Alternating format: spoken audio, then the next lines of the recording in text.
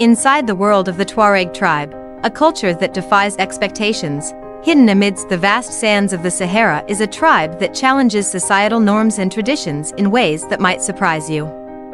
Known as the Tuareg, or the blue men of the Sahara due to the indigo dye from their scarves staining their skin, this nomadic tribe blends an ancient way of life with customs that are strikingly progressive, even revolutionary. A different kind of freedom for women. While many associate traditional Muslim cultures with restrictions, the Tuareg turn this perception on its head. In Tuareg society, women enjoy an unmatched level of sexual and social freedom before marriage.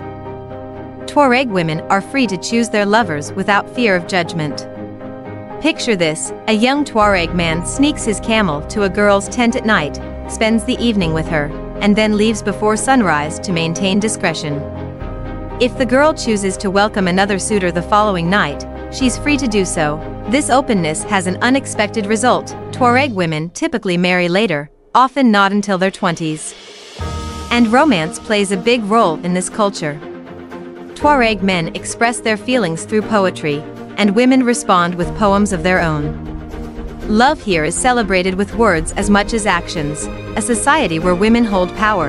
Unlike many patriarchal cultures, Tuareg women maintain significant power. Even after marriage, they own the family's most valuable resources, the tents and the animals. In the harsh Sahara, these assets are everything. When marriages end in divorce, a common occurrence, it's the women who keep the tents, the livestock, and the children.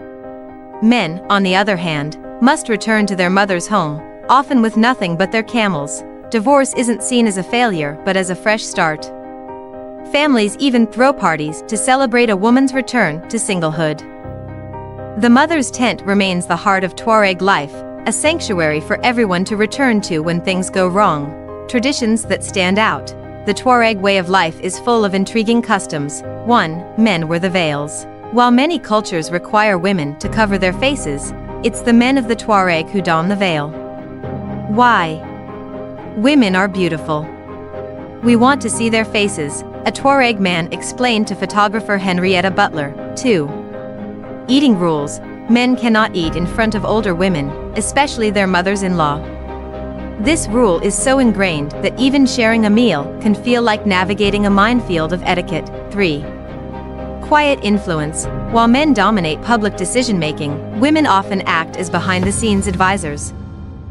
Guiding their sons and husbands with wisdom that shapes the tribe's future.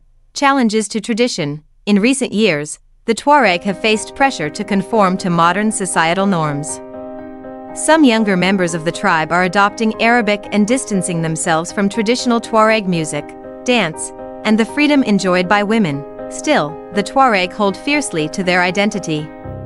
They see their culture as superior, their traditions as timeless, and their way of life as a beacon of pride amidst a changing world. What makes the Tuareg unique? For over a thousand years, this tribe has defied expectations, blending romance, freedom, and respect in ways rarely seen elsewhere.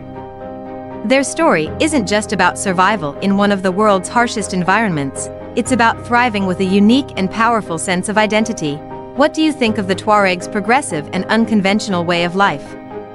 Share your thoughts in the comments, and don't forget to like and subscribe for more fascinating stories from around the world.